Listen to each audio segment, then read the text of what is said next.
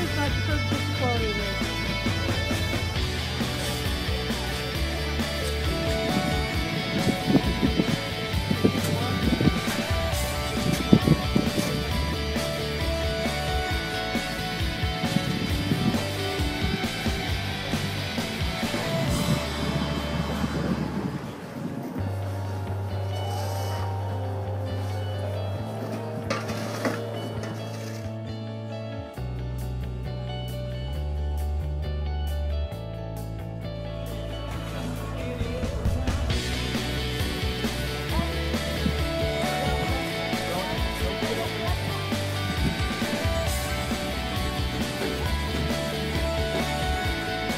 Rose continues